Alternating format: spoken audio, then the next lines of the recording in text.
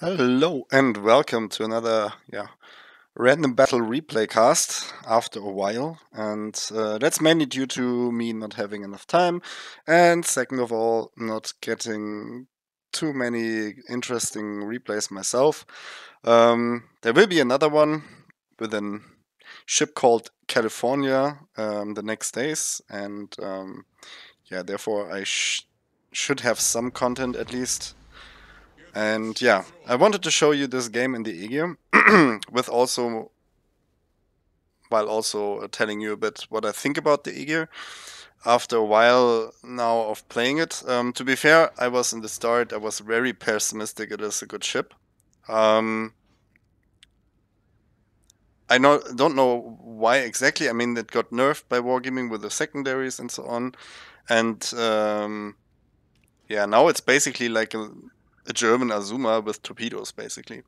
Um, but there are still some um, differences that are, yeah, mentionable in my opinion. First of all, your AP Alpha is better. Your HE is probably, or not probably, it's it's worse than Azuma's. That's nothing um, special and new. Um, the guns are kind of decent in terms of accuracy.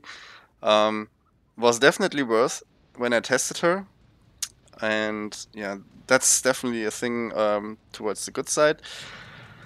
Um, you have 27 millimeter bow and stern, which means you can't get overmatched by um, 380 millimeter guns, only everything above. So in that terms, you're definitely um, a bit stronger in um, the brawling capability section than an Azuma, but Azuma doesn't have torpedoes anyway, so you want to avoid that as best. Um, Aegir has a 4x torp launcher on each side, same as the Tirpitz, 6 kilometer torp range. Access to Hydro, um, yeah, the hit points you see. Armor is kind of, I don't know. I mean, against 380s and so on, it's it's pretty effective. As soon as you face like heavy AP shells like 406 plus, you eat damage like nothing. Um, yeah, and that's basically um, Aegir. AA defense is also for its tier okay. We are facing in this game um, an Enterprise. So tier 8, we will shoot down one or the other plane, but it will never be enough to like stop a strike. So don't rely on this. That's why I also don't run um, defensive AA. Even though it might be useful, but I found um, Hydro on this ship better. And now to the playstyle. How do I play um, Aegir? Um, well, my tank build, or I'm playing with a full tank build, so no shenanigans with secondaries because that's practically useless now. And um, yeah, basically a heavy cruiser tank build, which is basically um, a battleship tank build. Nothing else. And I want to capitalize on my H, uh, AP alpha as much as I can. Um, shooting broadsides is the way to go. Your concealment you sit around, I think 11.9 is good. I think it's the same as Azuma. So you can play a bit more um, undetected and do exactly what I do here. Go behind the island, get undetected. I don't want to get farmed from the, uh, by the anchorage that sits in smoke. And dish out volleys on the broadsides of the Bismarck and. Which can't not really or cannot really harm me if I'm angled. And yeah, that's the thing. Like shoot these AP salvos out of um, out of cover, out of conceal, uh, concealed status, and you can land some nasty, nasty volleys, in my opinion, and that's how you should play um. Forget about the HE most of the time. I mean, there might be um, situations where HE is recommended, but in this case, where I get so many broadsides, and later on, um, I mean, the title is slow pace. This is basically the slow pace, and then fast pace towards the end. Um, yeah, as I said, I had some some fun in this game, and I have I don't know if, if Chris alias um, Snoo Snoo uh, Rip is watching this here. If he does, um, well, I can tell you I changed my mind because he was always saying, okay, the Aegir is a good shot. Um, I wouldn't agree on good, but decent does fit in my opinion. Yeah. Um, try to avoid shooting the belt armor in the start over longer distances um, of the battleships. Go for the upper um, armor belt or the superstructure. This is how you land your good volleys. And um, the closer you get, the more you can shoot definitely the broadsides, because then the penetration is enough to also pen the broadsides of battleships. So I'm using this island here to make a full turn. That's basically... Um, yeah, Anchorage I can't pen simply because it's 3 or 5 millimeters and overmatch. So I also aim for the superstructure and upper part. And angle away to get in a concealed status again. This is basically how I play the um, Aegir and found out it's probably the most effective way. Requires some, some patience because you don't want to dish out always AP on angle targets or something like that. Don't do this, just just use your concealment, don't be too close in the start, dish out damage like I do here, and get juicy shots on broadsides. Uh, towards the end, there are more and more, or often in, in uh, in battles towards the end, there are more and more opportunities to use your torpedoes and brawl a bit. But in the start, just play it as I do right uh, right now. Otherwise, you will lose HP, get completely blasted out of the water, and I think and assume you don't have too much fun doing exactly this. So, um, yeah. Range-wise, I think you sit on 19 kilometers. Let me quickly check. Um, where are you? Eh, can't find it.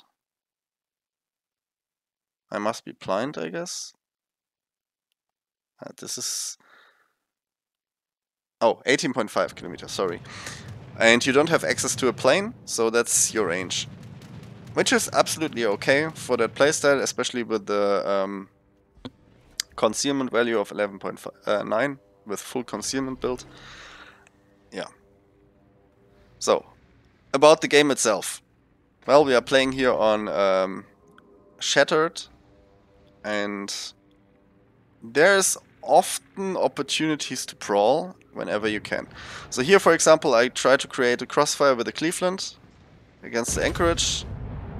Pop Hydro, obviously, since the Anchorage has torpedoes, and if you get these nice volleys in, since he was broadside to me, you can um, kill ships quite nicely. Don't know why the Cleveland isn't finishing him off, probably doesn't have angles anymore. So I try to go in, but I'm pretty aware that the... Um, first of all, Fun Police will be here, obviously, as soon as you start show some aggression. The Fun Police is next one to uh, be on you. And second of all, I don't want to eat torpedoes by the Anchorage. He, he knows where I am, he knows what I'm doing. Um, AP bombs by the Enterprise knock out my engine, so need to repair this get uh, a Solala volley on the Bismarck and I'm not charging out. I mean, I can just wait. This anchorage is just boxed in. I don't need to push out and try to risk my ship for 2k of damage, in my opinion. Carrier is obviously coming again for me. Or at least for some ship in the vicinity, I think. Yeah. Anchorage realized he's dead, so launched his torpedoes and yeah, the path is free, so to say. If you look at the lineup currently, they have Jean Bart, Massachusetts, Bismarck. The Massachusetts is up here. So for me this is a non-factor right now. Especially if I work around my concealment. He's completely out of the game. Z52, okay, there's my, my Yugumo also took the wrong path that you can ever do. This is a thing that people don't often realize if you go in front of the island and cut yourself away um, from all the support that you have, well, then exactly that what the Yugumo is suffering now is happening. Switch to HE, and um, yeah, thanks to the smoke from the anchorage, I'm a bit concealed. Getting a volley off. Five hits and only 3.2k. You see the alpha isn't that impressive on the HE shells. 27% uh, fire chance is okay, but as I said, if you want to HE spam, play the Azuma. It's a very decent ship in that regard. And yeah. Alright, I'm not angling in. I'm a bit afraid that the Massachusetts might sh shoot me, but If I'm not mistaken, Massachusetts doesn't have that long range.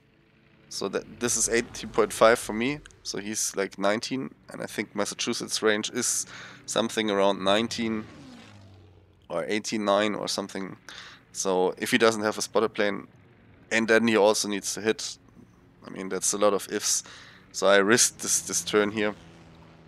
Not the biggest risk that you can take. And now we are coming to the fast pace, because I see a lot of opportunities.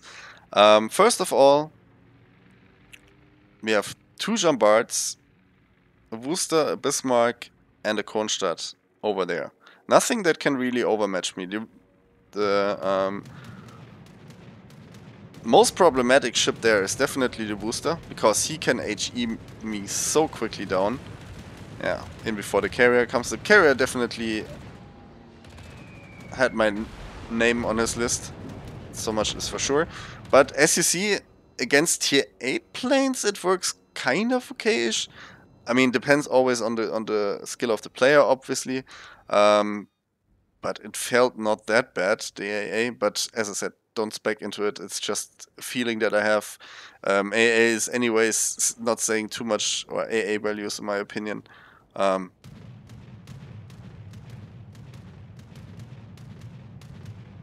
So I hope for some broadside, then I'm spotted, I'm turning in because no point of um, showing more broadside to the Jean Bart.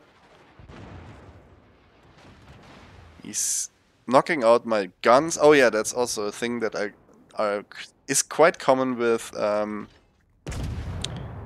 the Aegir and also the 380mm counterpart, uh, not counterpart, but um, yeah, similar ship the uh, Siegfried. That's a bit of an annoying thing. But yeah. You can deal with it, I think, more or less. So my plan is here, obviously, going to Brawl. Um, let's see which opportunities arise. I need to get rid of the um, the Worcester first, though. If I push in and the Worcester is angled and chills there and just farms me, I, I will never make it towards the battleships. So, um, yeah. I use this island here as cover to approach. Yeah, this Bismarck is shown obviously a pretty nice broadside, 10k volley. As I said, don't underestimate this AP, this is um, nasty. German AP has always a high alpha. Yeah, and then the Worcester is coming, and he's doing me an absolute favor of um, turning full broadside. Slowing down then even. Interesting. Two citadels only. Bit sad. But yeah, you see how quickly I melt under this fire? And he goes down.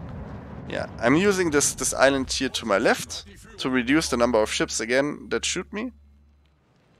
And um, yeah, try to the enemy not being able to um, crossfire me. This is also very important. Bismarck, again, full broadside. Uh, that's an easy kill. And now the Jean Bart is in the vicinity. Um, yep, I angled my armor just enough so he can't pen anymore. Um, there are two options that you could do. Um, shoot either superstructure or guns. In this case I went for the superstructure, angle myself in. I make want to make sure that I'm really, really close um, to the Jean Bart. And now he shot superstructure as well. Before I shoot, will shoot. Um, launch my torpedoes, I mean.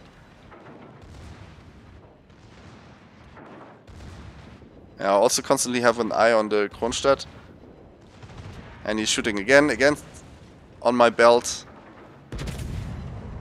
I shoot his guns, don't take knock them out for whatever reasons, get my torpedoes off.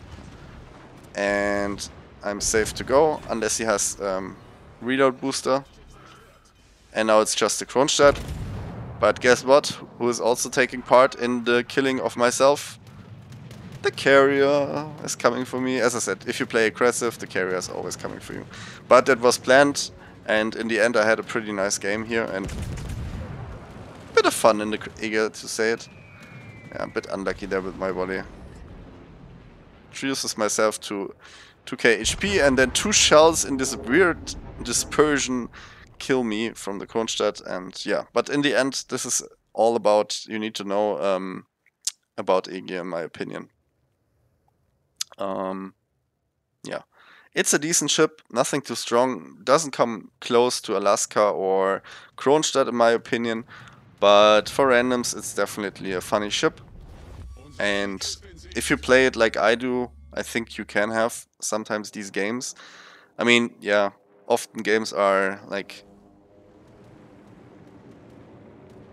dominated by complete passiveness, especially on tier 10, which is not so much fun. Against tier 9s you can dominate so much, um, or not, in, I mean, if you have tier 9 top tier matchmaking against tier 7s and so on, you can dominate so hard in the um, in the Aegir that's not even laughable, but it's like tier, tier 9s versus tier 7s, which tier doesn't do that, right? Yeah, and this game is basically won, so um, nothing really exciting happens. This um, Massachusetts is still running around on the backline, um, doing whatever. So in the end, um, I ended up with 160k damage, 3 kills. Um, sadly, no achievements, but okay, I'll take it, I would say. Um, also not the highest base XP here, 2.25. Um, but yeah, it's more about how to play the ship, um, how you can have fun in it, how I define fun. Some others define fun as, yeah. uh, yeah, just YOLOing in and dying. So um, yeah, with a that's a bit more methodical approach. Let's say it like this. And here you can see how much AP I shot. It was basically, um, I switched once to HE and that's it. And that should, if you can capitalize on broadside, then just do it. And, um, you know, apart from that, play it as a tanky, stealthy kiting cruiser. I mean, you can also kite in this thing um, with HE or like bring yourself in good positions where you can establish crossfires with your battleships. Um, yeah, this is basically how you play Aegir in my opinion. But yeah, maybe you can write in your comments what your experience with the Aegir is, um, if you play it differently or um, if you have other remarks, feel free to um, do that in the um, comments below. Apart from that, wish you a nice Sunday. Have a good time with your family. We are approaching um, yeah, Christmas very fast. So time to to cool down, time to get um, a mindset of calmness, I guess, and um, yeah, just have a good time. So, see ya.